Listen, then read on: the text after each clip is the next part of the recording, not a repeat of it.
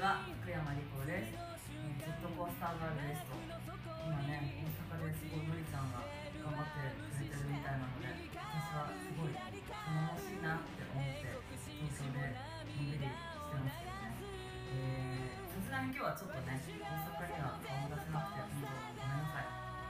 その分のりちゃんがすごいめちゃくちゃかき回してすごい元気を振りまいてると思ってるのでまあ、私は東京で安心してねバイクの日を過ごしています、えー、ジェットコースターガールはもうそろそろ本当に今年中には皆さんに次のアルバムをお届けできると思います今ね PV の話もすごい進んでてみんなが「おー!」って「すごい!」って「どうしてジェットコースターがそれ?」って思ってくれるようなことを考えているのですっごい楽しみにしといてくださいまあこうやってすごい楽しみにしてくださいっていうのは自分へのプレッシャーでもあるんだけどね。でも、うん、みんなの期待を裏切らないようなものができるできた？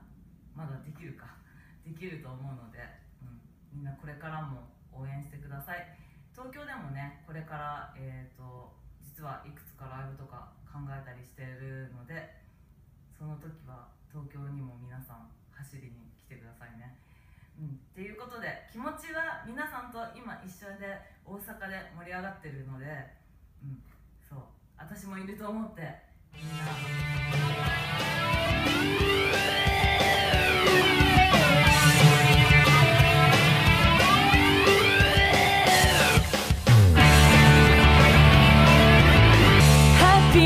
山を一気に登り次の瞬間奈落の底に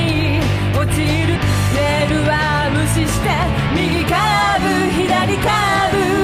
英国紳士も涙を流す。私が噂のジェットコースター。